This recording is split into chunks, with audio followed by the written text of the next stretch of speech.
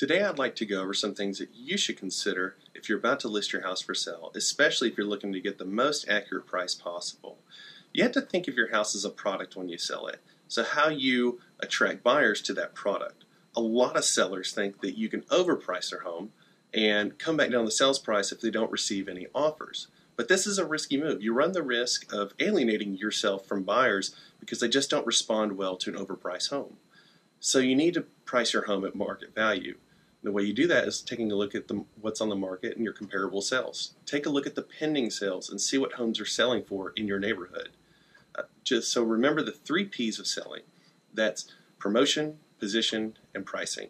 Because when you price your home correctly, you position yourself to attract multiple buyers interested, which can lead to a very high sales price. So there are a number of different things you can do to price your home attractively to buyers feel free to reach out to the Acuff Golden team for more information or to have a conversation at auburnhomefinder.com. Thanks.